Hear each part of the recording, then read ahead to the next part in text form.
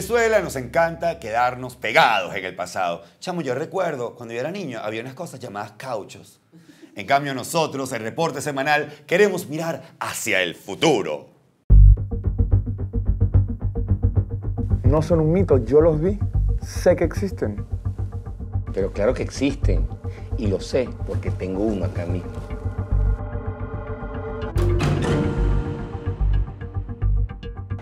Antes, tú encontrabas cauchos en todos lados. Los podías comprar en estos sitios, se llamaban caucheras, ¿ves?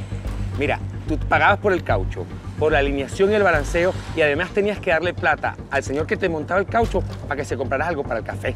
Vamos.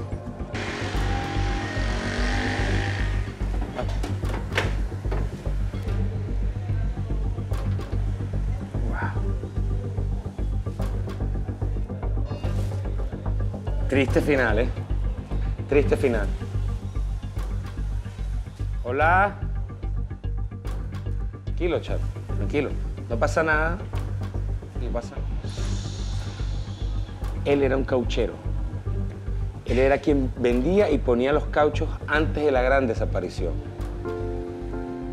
La gran desaparición de cauchos comenzó hace años. En el 2015, lo recuerdo bien, el mismo año en que comenzó la desaparición de baterías para carros, repuestos de vehículos y hasta Postinor. Ese año creo que el último caucho que se vendió fue en Maracay en octubre, que lo, compró por cierto un señor llamado Lorenzo Mendoza, le costó 600 millones de bolívares, que para su pesar, esa misma semana se le explotó el caucho de atrás del carro y le tocó conformarse al pobre con viajar solo en helicóptero.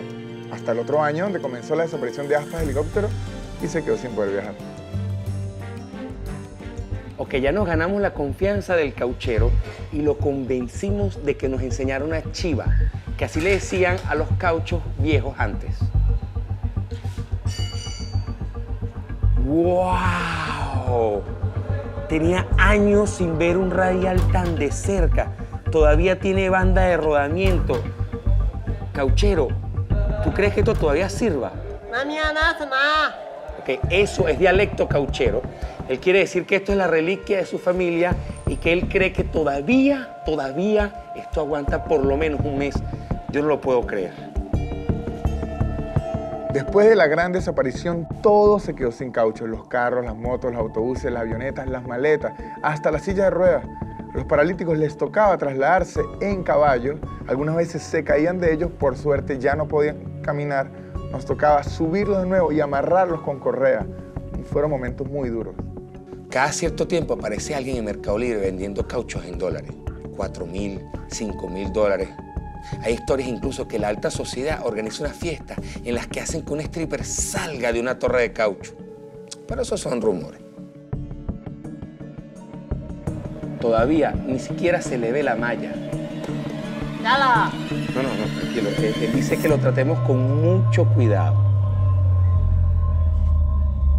¿Qué es eso? ¿Una batería de carro?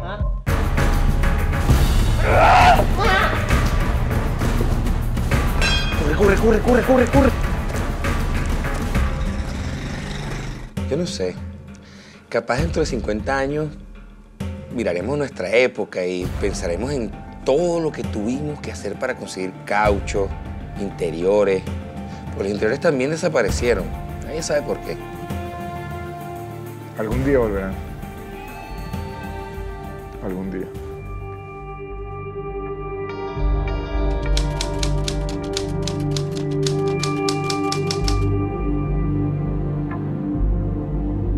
Si quieres disfrutar de todo este programa, suscríbete, baja la aplicación y disfruta de 7 días gratis de todo nuestro contenido. Vivo Play realmente te conecta.